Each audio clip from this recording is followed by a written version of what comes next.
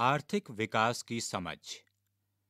कक्षा दस के लिए सामाजिक विज्ञान की ध्वनि पाठ्य पुस्तक पृष्ठ संख्या एक, अध्याय एक, विकास। शिक्षक के लिए निर्देश, विकास के कई पहलू हैं। इस अध्याय का उद्देश्य विद्यार्थियों को यही विचार समझाना है। उनके लिए यह समझना आवश्यक है कि लोगों की विकास के बारे में अलग अलग धारणाएँ हैं और ऐसे उपाय हैं जिनके द्वारा हम विकास के सामूहिक सूचकांकों को जान सकते हैं। इसके लिए हमने ऐसी स्थितियों का प्रयोग किया है जिन पर वे सहज बुद्धि से प्रतिक्रिया दिखा सकते हैं। हमने ऐसे विश्लेषण भी दिए हैं जिनकी प्रकृति ज़्यादा जटिल और बृहत है। दूसरा प्रश्न यह है कि देशों और राज्यों की तुलना कुछ चयनित विकास सूचकांकों के आधार पर कैसे की जा सकती है?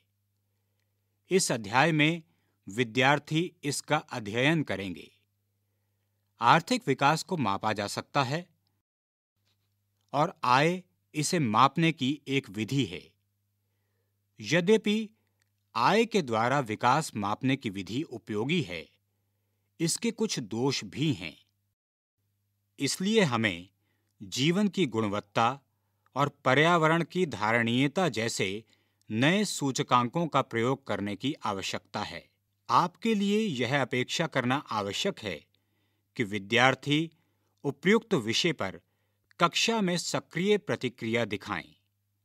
इस विषय पर विद्यार्थियों की राय में काफ़ी अंतर हो सकता है और इस पर विवाद होना भी संभव है।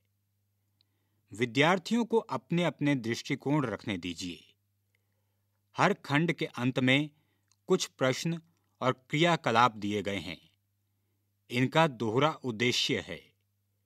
पहला, वे इस भाग में चर्चित विचारों को संक्षेप में बताते हैं।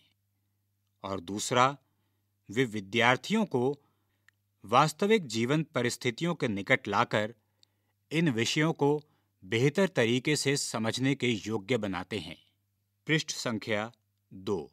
इस अध्याय में कुछ शब्दों का प्रयोग किया गया है, जिनका स्पष्टीकरण आवश्यक है।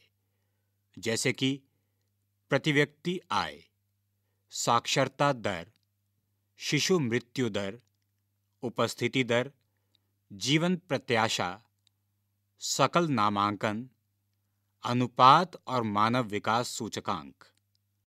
इन शब्दों से संबंधित आंकड़े दिए गए हैं तथा इन्हें पूर्ण रूप से समझने के लिए इनका विस्तार से अध्ययन आवश्यक है।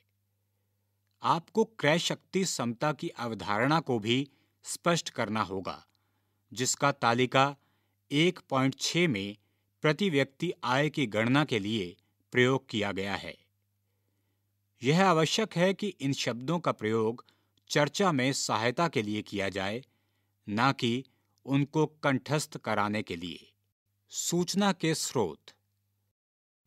इस अध्याय के लिए आंकड़े भारत सरकार द्वारा प्रकाशित आर्थिक सर्वेक्षण, संयुक्त राष्ट्र संघ विकास कार्यक्रम की मानव विकास रिपोर्ट और विश्व बैंक, विश्व विकास सूचकांक द्वारा प्रकाशित रिपोर्टों से लिए गए हैं।